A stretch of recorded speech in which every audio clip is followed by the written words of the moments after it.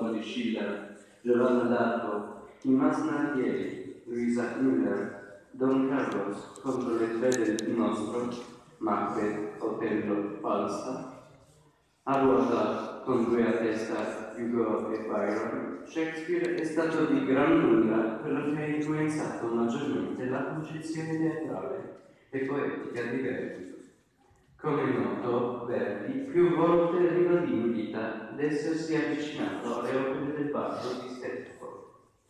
Già dall'adolescenza, limitatamente alla possibilità che allora nella provincia italiana ci potevano essere di avere la disponibilità di un'edizione in italiano delle sue opere, diffuso e esaltato nel nord Europa dal romanticismo, in Italia Shakespeare dovette aspettare ancora alcuni decenni per iniziare a circolare regolarmente, anche per via di una certa diffidenza con cui la cultura ufficiale, priva ormai del prestigio di un tempo, ma con limitata laboria, guardava nel genio inglese, pur sempre un barbaro agli occhi di chi sentiva discendente diretto della letteratura classica e di poeti come Dante, Petrarca, Ariosto e Tasso.